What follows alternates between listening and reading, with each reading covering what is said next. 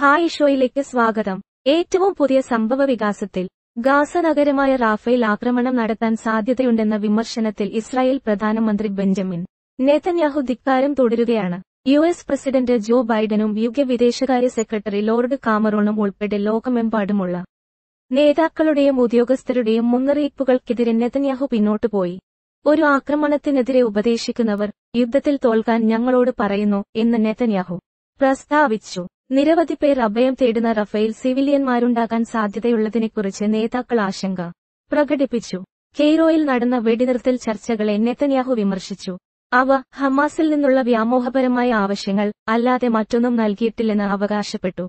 ഭീകര സംഘടനയായി കരുതുന്ന ഹമാസിനെ പ്രതിരോധിക്കാൻ ഇസ്രായേലിന് അവകാശമുണ്ടെന്ന് ഇസ്രായേൽ പ്രധാനമന്ത്രി വാദിച്ചു. റാഫേൽ ഉണ്ടായേക്കാവുന്ന ആക്രമണം അന്താരാഷ്ട്ര അപലപത്തിന് കാരണമായി. പലരും ഗാസയിലെ സംഘർഷത്തിന് സംയമനത്തിനും നയതന്ത്ര പരിഹാരത്തിനും ആഹ്വാനം ചെയ്തു. ഇസ്രയേലും ഹമാസും വെടിവെപ്പ് തുടരുന്നതിനാൽ സ്ഥിതിഗതികൾ സംഘർഷഭരിതമാണ്.